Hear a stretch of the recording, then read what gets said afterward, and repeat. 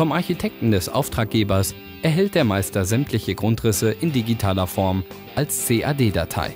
Auf Basis dieser Grundrisse kann er nun die erforderlichen Installationspläne direkt am PC erstellen.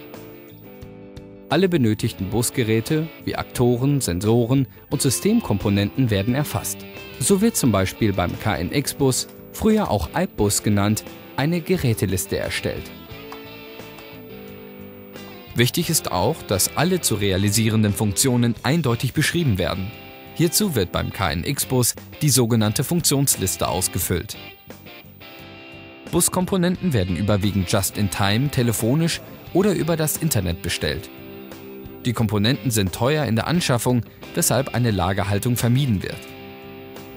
Die genaue Personal- und Zeitplanung führt der Meister ebenfalls am PC durch.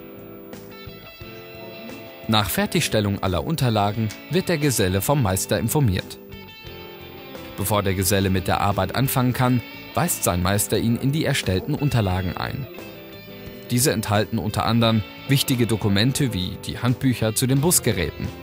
Gut informiert kann der Geselle nun mit der Durchführung des Projekts beginnen.